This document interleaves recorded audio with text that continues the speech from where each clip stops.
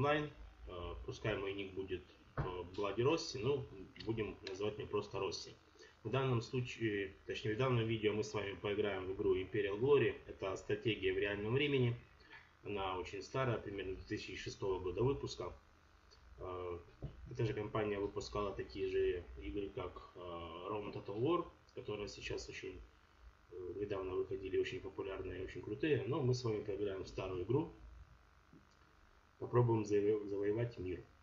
Мы с вами поиграем в компанию, выберем, так как мы уже с вами крутые игроки, выберем уровень тяжелый. Условия победы полная победа. Подсказки отключим.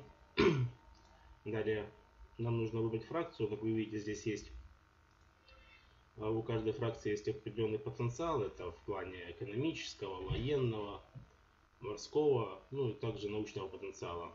Многие советуют играть новичкам за Великобританию, потому что Великобритания находится на отдельном острове и в принципе определенное количество ходов.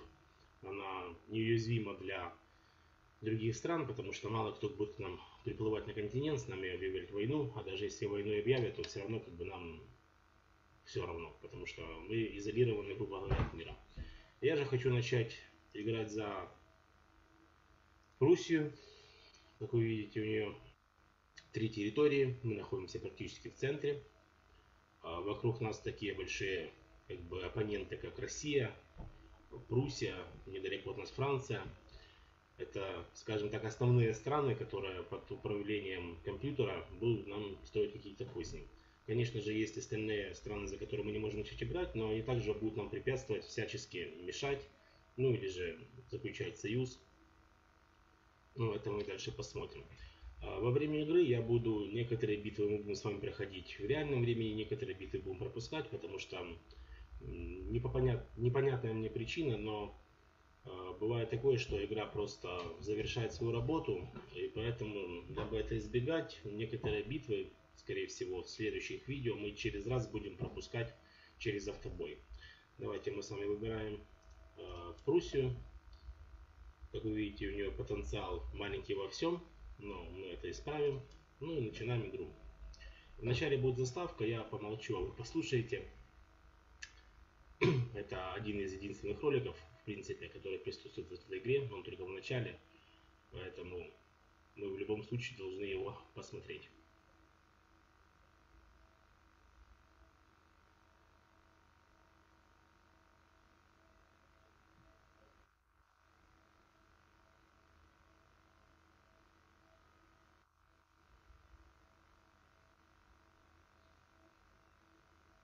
Это я.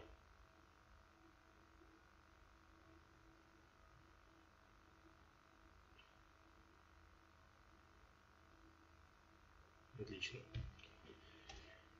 Так. Как новый правитель мы должны выбрать... Угу, угу. Так, это получается наша ветка развития. Как вы видите, у нас сейчас первая эра. Это июль 1789 год. То есть это 17 век.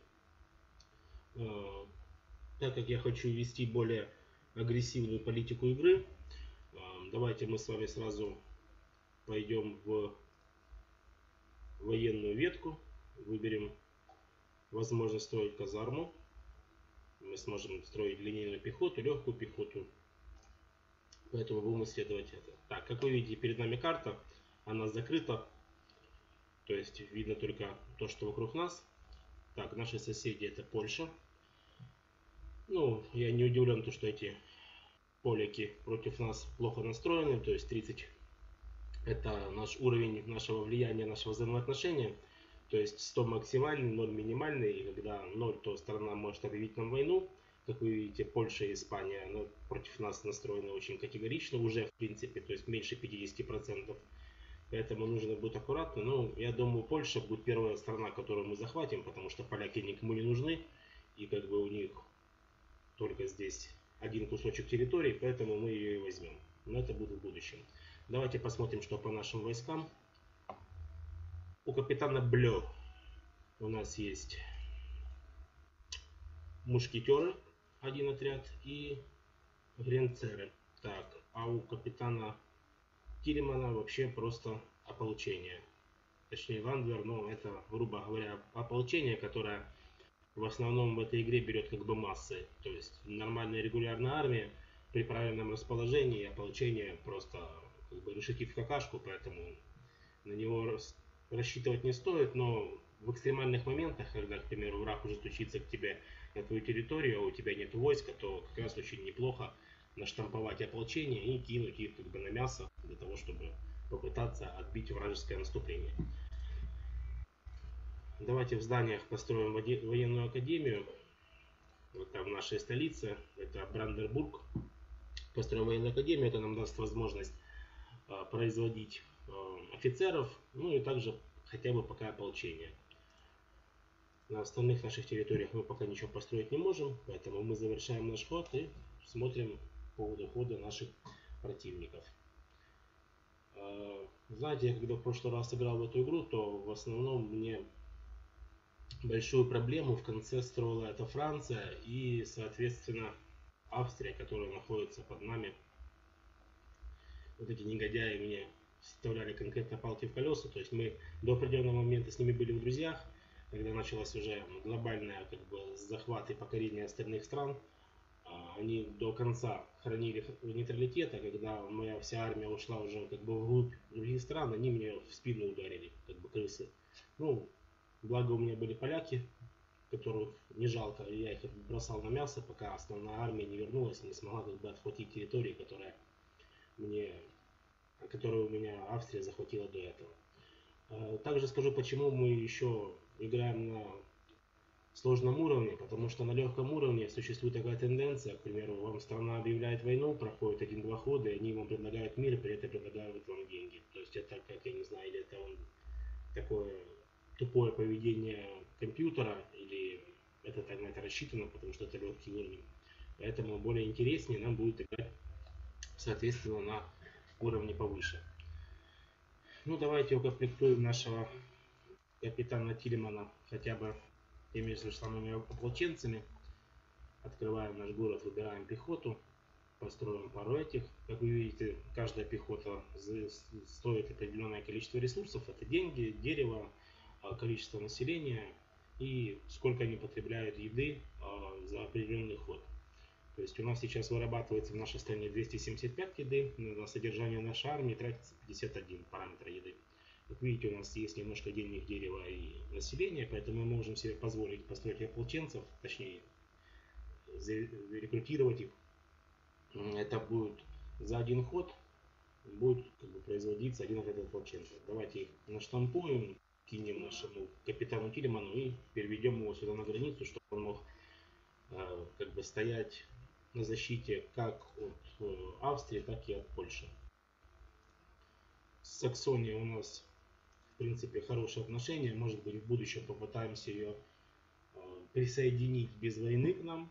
Для этого нам нужно будет там построить э, наше посольство, представительство.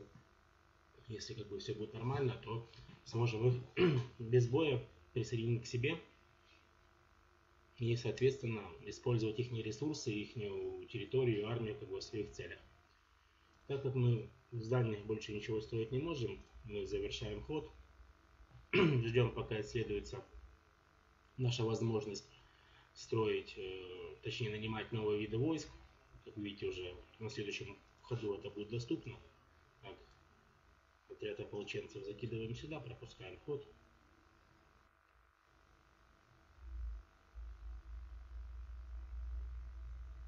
Ну, на карте пока ничего не меняется, ничего не интересно. Вот, пехота исследована. Дальше давайте будем исследовать кавалерию как вы видите.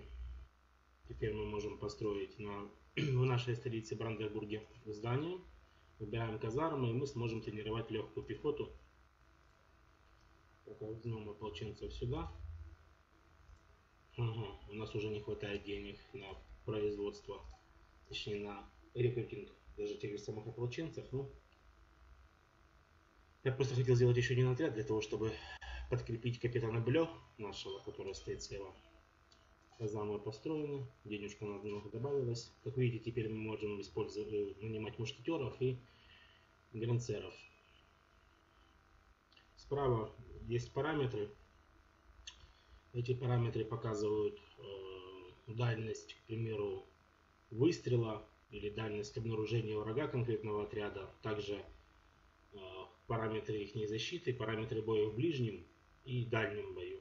Как вы видите, мушкетеры э, владеют еще защитой 42, у них дальность 60, 35 в ближнем, 40 в дальнем. А здесь 32-44, ну то есть гренцы они больше подходят на дальнее расстояние, если вы как бы планируете вести бой на дальнем расстоянии. Ну а мушкетеры, скажем, такие более универсальные, которые могут и стрелять, как бы, и дать пиздюлей, как бы, и в ближнем бою. Ну давайте возьмем, наверное, вот так. Один ход как раз мы обучим мушкетеров, и на другой ход, я думаю, нам хватит денег, и мы сможем обучить непосредственно еще одних таких. Пока на политической карте ничего не меняется, мы будем только следить, как, к примеру, наши ближайшие соседи будут в тупую передвигать фигурки со своими армиями влево, вправо, влево, вправо. А у нас не хватает все-таки ресурсов, не хватило там. Тысячки не хватило, ладно, тогда подождем. Давайте, наверное, сделаем вот так. И все-таки дадим нашему капитану Тилиману хотя бы один отряд, который более-менее похож на отряд воинов, а не крестьян с дубинками перекинем, нет, Тилемана перекинем сюда. Этот останется на страже здесь. Отменим. Нам нужен еще один офицер. Для того, чтобы наращивать наш военный потенциал. На одну из карт, точнее на одной из территорий могут находиться сразу до, только до трех полководцев. Но свыше трех а, можно накидывать подкрепление. То есть в случае боя полководцы, которые находятся рядом на территории, но были отправлены туда, но не смогли зайти, потому что нету места, они будут выступать как подкрепление. Так, Ваше Величество, вы должны решить, кто будет вашим законным наследником, сын или дочь. Когда они достигнут совершеннолетия, вы сможете организовать династический брак с представителем монархической семьи другого государства, что принесет немалые выгоды вашей империи. Ну, мы же как бы не хотим, чтобы как бы наша дочь, то есть там, королева, да, чтобы, или там принцесса, чтобы ее ебали. Поэтому мы возьмем Кристофера, Карл Кристофер, пусть он всех ебет, поэтому это будет пацан. Вы решили, что принц Карл Кристофер будет вашим законным наследником, мы будем внимательно следить за его воспитанием и обучением. Ладушки, хуядушки. Так. Э, посмотрим, что тут у нас. У поляков гарнизон. У поляков принципе, если мы с вами построим еще, если мы с вами сделаем еще одного командира, туда мы закинем хотя бы пару мушкетеров и ополченцев, то с помощью трех наших полководцев мы можем нагнуть Польшу прямо сейчас. Это, конечно, может потянуть за собой последствия, потому что это будет агрессия, а если мы нападем без объявления войны, то это будет еще хуже. Э, я думаю, что Австрия и, соответственно, Россия не упустят момент, чтобы ударить по нам. Но, с другой стороны, мы с вами можем разменять, к примеру, Польшу на нашу область от Силезия. Она нам, в принципе, не сильно нужна, но в Польше мы сможем дополнительно штамповать воинов. Давайте посмотрим. Возможно, будет иметь смысл взять кавалерию. Я думаю, поляков кавалерии все равно нету. Судя по характеристикам, у них два отряда ополченцев. Отряд... Ага, просто пехота. Мы даже не знаем, сколько всего мушкетеры. Поэтому, наверное, мы так и сделаем. Мы сейчас с вами выждем пару ходов. Как раз исследуем с вами а, кавалерию. Возьмем кавалерию и раздавим этих пшеков, чтобы они знали, кто здесь хозяин. Ага, отлично. Новый командир готов. Кавалерия исследована. Мы дальше идем с вами по военной ветке. Угу. Так, надо, наверное, сначала нам построить конюшню. На конюшню у нас денежек нет. Нам не хватает денег. Да, нам не хватает денег, поэтому в любом случае надо кого-то поработить по-быстрому пока есть в начале. Так, государство Саксония выдвинуло торговое предложение, которое, по его мнению, принесет вам выгоду. Они предлагают вам 220 единиц продовольствия за... Ага, они хотят нам дать еду, а чтобы мы им дали деньги. Ну, скажем так, еда у нас есть, а денег у нас нет, поэтому мы отвергнем. И еще раз отвергнем. Торговать будем не сегодня. Так, здание. Ну, уже мы нашкребли на конюшню. Ага. Сейчас мы хоть пройдет, мы посмотрим с вами. Поляки вывели еще одну, еще одного полководца. Сейчас мы с вами чекнем, что там у него за армия. Россия выполняет миссию революции в медицине. Вознаграждение на всех территориях этой империи построены местные госпитали. Да, здесь есть такое понятие, как цели. Вот видите, революция в медицине. Россия выполнила условия, но это сделать просто, потому что у России есть э, огромная территория, огромный потенциал, и это сделать довольно-таки просто. Поэтому мы в этом плане уже не успели. Да, как вы видите, поляки вывели еще одних ополченцев. То есть 4 отряда ополченцев и отряд, допустим, мушкетеров. Там посмотрим. Поэтому надо нам подождать. Все равно пока они не представляют огромной силы. Скажем так, ополченцев наших мы кинем на их ополченцев от мяса, выставим наших стрелков, а конницы просто задавим сзади идущих и или просто ополченцев раздавим конницы, это неважно, конница с ними разберется по-быстрому, поэтому я думаю, это, эта война продлится очень быстро. Главное, чтобы мы быстро аннексировали само государство. Так, Австрия нам предлагает, опять же, еду за золото, нет, спасибо. Очень жалко, что здесь э, торговля очень ограничена и скудна, в основном на протяжении всей игры, почему-то компьютер нам будет предлагать э, обмен именно такой. То есть он будет предлагать нам еду и будет требовать наше золото. Ну, то есть, вот, к примеру, если бы они наоборот сказали, там, братан, дай нам дерево, мы тебе дадим золото. Это без пизды. Я бы отдал там 1500 дерева, забирайте, там, топите свои печки, мне похер вообще. Ну а так слишком хитро жопа получается. Так, у нас здесь есть уланы и гусары. Уланы у нас больше идут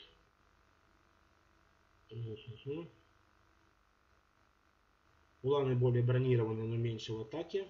А гусары это быстрая кавалерия. И она более легче бронированная, но у нее больше атаки. Ну, давайте будем брать этих. Нифига себе 1000 стоит. Это нам в стране надо целые два хода работать для того, чтобы нанять одних уланов. Но нам в любом случае надо кавалерия, потому что я же говорю, что на начальном на начальном этапе я считаю, что нам это даст определенное преимущество. так, отряды. Можем уже их построить.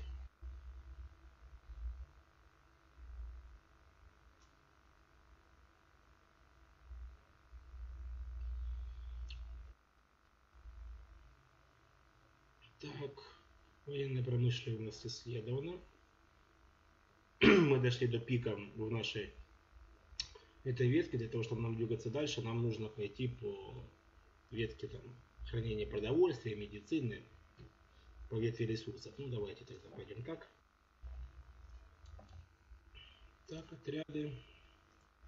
Давайте подкрепим их. Угу, на мушкетеров не хватает. Наверное, укомплектуем еще построим одну конницу, попытаемся взять и возьмем мушкетеров. Я почему... Так, государство Саксонии выдвижило торговое предложение. Опять же, видите, они нам предлагают 200-200 единиц продовольствия за 330 единиц золота. Отвергнуть. И еще раз... О, Польша. Паны. Что паны хочет? Паны хочет у нас... Угу. Опять же, продовольствие на этот нет. Нам с Польшей вообще, мы даже с ней в одно поле срать не сядем, поэтому даже если бы нам и нужно было, мы бы это с ними сделали потому что надо их душить, и душить их надо сразу. Так, дальше по ветке идет увеличивать прирост населения на 25%, увеличивать производство сырья. Ну, сырье это, я надеюсь, и золото тоже. Давайте возьмем сырье. Мне кажется, пока мы с вами будем сейчас развивать нашу армию для того, чтобы сделать блицкрик, марш-броскок на Польшу. Ага, Австрия, Пьемонт, Польша считают, что наступил подходящий момент для укрепления отношений между нашими странами. Они предлагают нам заключить оборонительный союз, обещая нам тысячу, ну скажем, 1200 единиц золота, Что делать для предложения более, зам, больше заманчивым, если вы принять. Ну, Польша решила вступить с нами в оборонительный союз вместе с Австрией и тут такие, кто, кто вы вообще? С Ганновером. Ну, давайте с ними подружим. Как раз у нас будет время для того, чтобы собрать немножко нашу ударную группу. И как только закончится... Можно было еще было пушки взять. Ну, как только закончится оборонительный союз, мы как бы скажем «Добрый вечер, Польша». Давай-ка ты как бы соснешь хуйтов, накажем ее просто, да и все. Ну, я думаю, этот оборонительный союз будет недолго, может ходов 5 что в принципе даст нам определенное время подготовиться для всех наших махинаций. Так, так, так, так, пехота, мушкетеры. Почему я беру именно мушкетеров? Потому что они более универсальные, а как бы стилистика моего боя, что я, к примеру, сначала стараюсь максимально нанести урон с дальнего расстояния, а потом просто кидаю всех нахер в рукопашку, пусть как бы вот, как, кровь, кишки, саки, пусть там уже мочится как бы до упора, потому что когда подходишь, подходят к дальним, то они что-то отсасывают. Так, продовольственные склады построены. Отлично. Что мы еще можем построить? Литейный цех. Увеличить производство сырья. А нам не хватает. Золота нема. Так, давайте мы пока сейчас вот этого гражданина перекинем сюда. Этого вместе с его отрядом выведем. Я думаю, раз пока такая песня пошла, можно еще одного офицера сделать. Больше ресурсов надо, в данном случае население. Ну что ж, будет стать. Государство Австрии выдвинуло вам торговое предложение. Нет, не надо.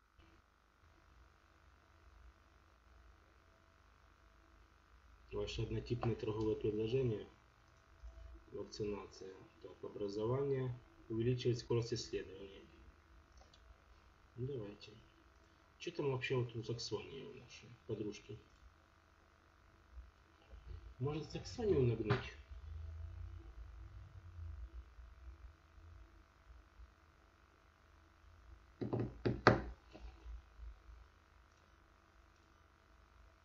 Что не сильно серьезные. Давайте, наверное, все-таки Раз поляки немножко подождут, тогда можно ёбнуть Саксонию через один ход.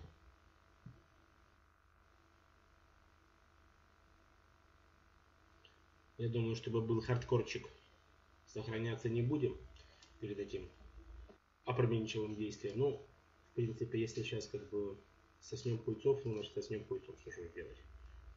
Тут уже на всякий случай надо штампануть вот так. Саксония дипломатия. Объявляем войну. Пруссия объявляет войну государству Саксония. Ну, а что делать? Ну что? Ну, ну надо объявить, да. да. Угу. Все, конфликт неизбежен. Перекинем сюда все наши войска, ударим с одного фронта. Прямо ему в лобешник сейчас лупанем. Австрия подтягивается, чтобы тоже откусить кусочек. А откушивать тут от нечего. Тут всего один кусок. Поэтому... Ну, то ладно, это бывает. Ну что, давайте мы сейчас с вами проведем нашу первую битву. Как вы видите, когда мы на чужой территории, потребление нашей провизии увеличивается. Ну, я думаю, мы тут будем долго. Текст. У нас получается практически полтысячи солдат, у них 240. Э, Легкое сражение компьютера это квалифицирует. Хотите командовать сражением лично? Да, давайте. В данном случае мы с вами поиграем лично, а вот потом можно будет какие-то сражения пропускать.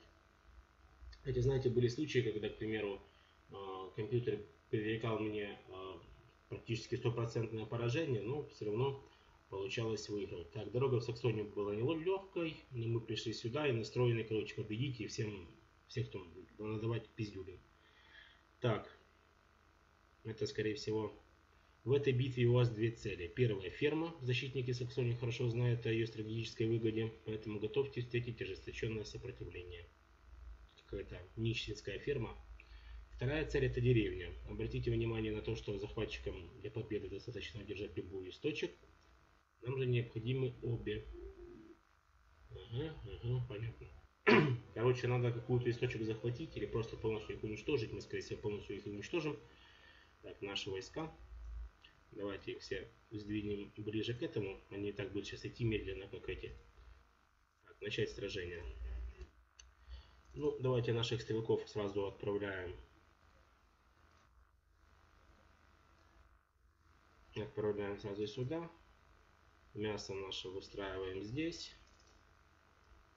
Вот. Ну и конницу давайте пока куда-нибудь сюда отведем. Сразу посмотрим. Ну, это понятно, что как ужаленные в жопу бегут как бы к этому зданию. Это их не единственный оплот будет. Мы возьмем деревню, они возьмут ферму. Ну, в любом случае, как вы видите, силы не равны. В принципе, если бы у меня было бы 4 конницы, а не 2, я бы мог бы просто вот эту шайку пидорасов как раздавить конницей. Можно и сейчас напасть ее, но потери конницы будут слишком большие, а разменивать конных на вот это дерьмо как бы нелогично. Мы сейчас займем позицию. У нас одна рота стрелков останется. Мы выведем ее вместе с нашими селянами вперед сюда. Схлестнемся с этими, наваляем им. Ну а потом этих дебилов просто выбьем из здания и на этом как бы все закончится. Так, эти маршируют, эти маршируют. А вот те господа у нас решили не принимать, наверное, участие. Как раз наши стрелки. Да, враг занял ключевую позицию. Сейчас мы ему надоем. Гусары, давайте немножечко подтягиваемся.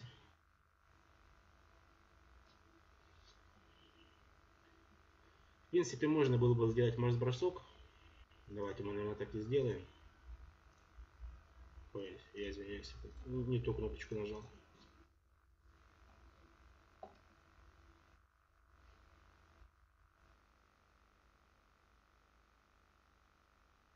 Пацаны, что, на головах будете сидеть друг у друга, блядь, в этом.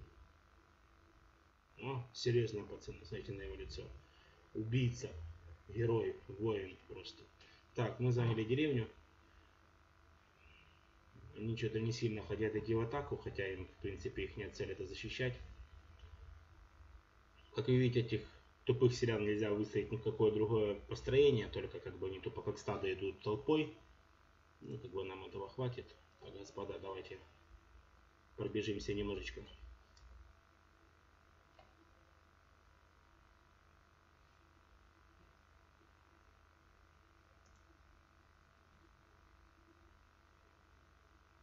Сейчас мы постараемся их вывести на агрессию. То есть в том плане, что подведем наших стрелков, разочек стрельнем, эти как дебилы побегут, мы схлестнемся, сбоку ударим кавалерией. Самое трудное будет забрать этих, но я думаю, в принципе, если мы пинем все эти отряды туда, то они там их раздавят в этой ферме. Так, кавалерия, ну, давайте немножко возьмем один отряд, я думаю, хватит. Так, этих мы выстроим так.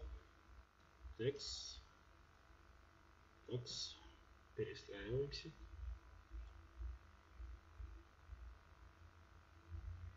Ну, в фильмах такую крутую камеру сделаем, как будто он летает над полем боя.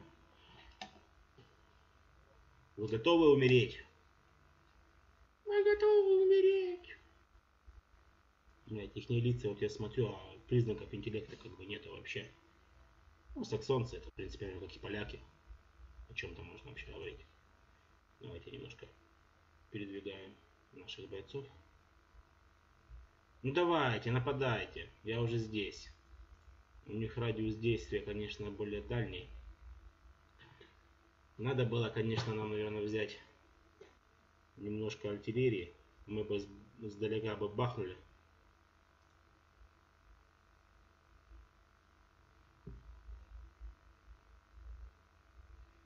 Есть. Толпа пошла.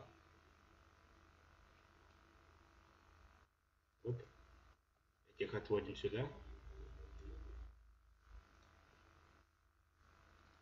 Этих сюда. Раз, два, три. Не встряли в эту драку. Мы их сейчас немножко отведем вот так вот. И вот так.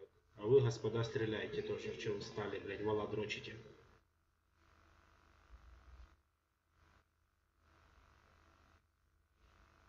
Ну, как видите, эти сразу и обосрались.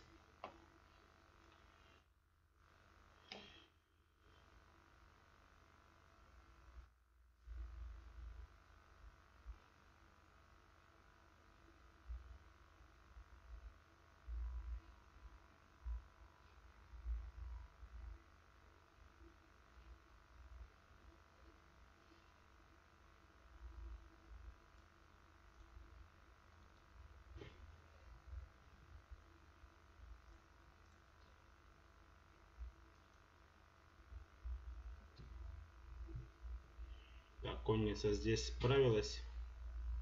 Сюда в атаку. Добиваем.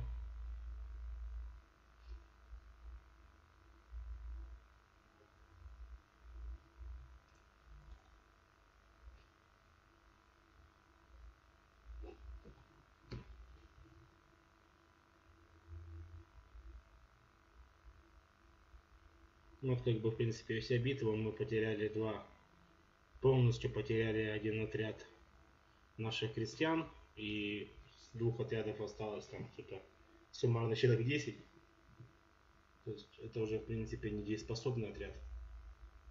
Мы уже не сможем ничего с ним сделать толкового поэтому все началась так общая потеря наших 185 мы их вырезали всех под корень. Начала, началась оккупация. Я думаю, благодаря нашим войскам, которые у нас там остались, это пройдет быстро. Осада города Дрезден началась, отлично. Россия выполнила миссию. Ну, Россия сейчас будет хуярить все миссии подряд.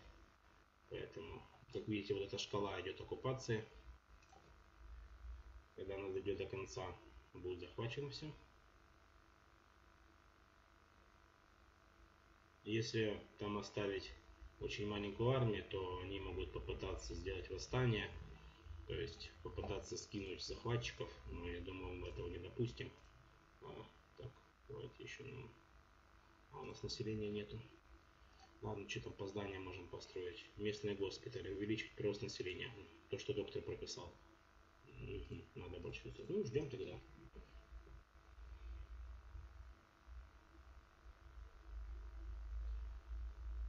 В принципе, я это готовил для Польши, но получилась Саксония первая у нас.